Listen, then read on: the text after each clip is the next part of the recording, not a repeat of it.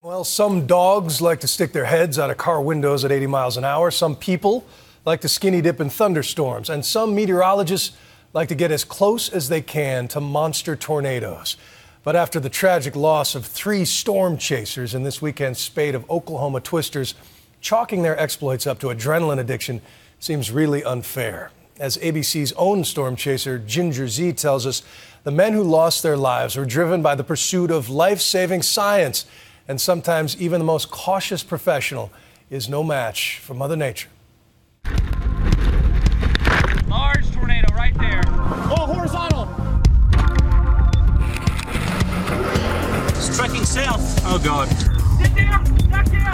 Left. Go. Why is this guy stopping? Watch that. It was a cruel twist. The second deadly storm to tear through Oklahoma in just 11 days.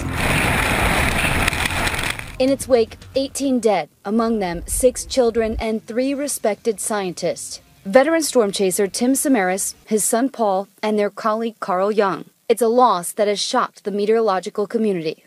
Before Team Twistex set out to track the powerful EF3 tornado in El Reno Friday night, Tim spoke with MSNBC and gave this eerie premonition. Boy, the ingredients are coming together for a pretty volatile day. In the aftermath of the storms, Samaras was found dead, still strapped in his car. The rest of his team sucked into the twister's 165 mile per hour winds. Storm chasers are a special breed of scientist. When everyone else is driving in the other direction, they hurl themselves directly into the heart of the storm.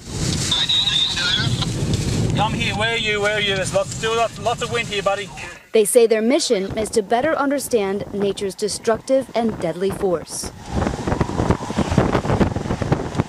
But this tragedy has shaken the storm chasing community to its core and left many wondering how it could have happened to this meteorological hero. Wake up this morning, that news is is horrifying. You know, it's a like a nightmare. Reed Timmer was also in El Reno and knew Tim and Carl well. All four of us worked together on the Discovery Channel show Storm Chasers. We knew Tim as one of the most cautious chasers in the business. There's something that doesn't make sense because he knew exactly what he was doing and he's always been controlled and safe, and it just doesn't make sense. Something is not right. Tim was a true pioneer in the field who devised technology that continues to help us measure and predict tornadoes. His quest to learn and inform always inspired him to give chase. Oh my god! That was huge! I had the honor of joining Tim on a recent expedition to study his other love, lightning. So, oh, look at that.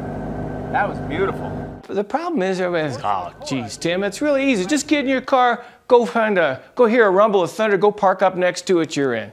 Well, it's not that easy. Sometimes it's almost as difficult chasing a tornado as it is a good lightning storm. So we're gonna go see the kahuna. Yep. Always on the cutting edge, Tim built this ultra high speed camera in the hopes that he could capture the birth of a lightning strike. There's actually 82 cameras on this instrument here taking one picture of the lightning and one microsecond steps of time at a million frames per second. Critics said it was impossible, but Tim has never been one to shy away from a challenge. I'm not going to give up until this is done, especially with the naysayers telling me this can't be done. Mm-hmm. That just drives me harder. Before we left that day, he kissed his wife goodbye. His son Paul joined his dad on the chase. Back then, he was a new addition to Team Twistex, who was eager to learn the family business. In all, we covered four states on our journey, more than 800 miles with plenty of pop and drop disappointing storms. Yeah, this storm, this storm kicked out several lightning strikes. They were probably about five minutes apart. Hardly worth firing the equipment over, but it's pretty. But Yeah, if rainbow chasing were the goal, we did it. Yeah, we did it. yeah, we scored the F5 in rainbows. Yeah, we did. But then, just as dark settled in, we got lucky. Oh my god, oh my god. Due north, a classic thunderstorm, bursting with lightning. All right, it is happening. It's gonna come right now. CG. Yeah, it's like 12 o'clock. And with Paul on watch and Tim manning the camera, they managed to snag a beautiful image. Numerous branches, then the first one hits the ground, then the return stroke. Oh my god. Studying lightning, studying tornadoes are one of the final frontiers of meteorology. You know, those are the things that are, because they're so fleeting, they're so very difficult to study.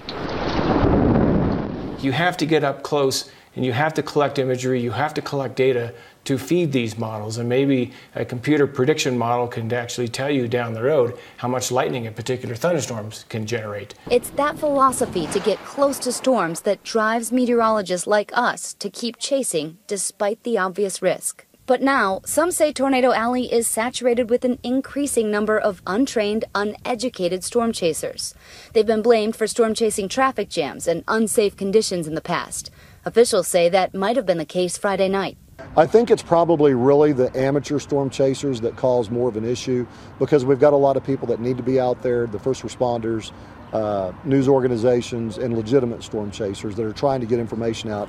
But legitimate storm chasing scientists like Tim and Reed Timmer aren't just after the thrills. In 2007, Timmer captured this breakthrough video in Ellis County, Oklahoma, and freeze it.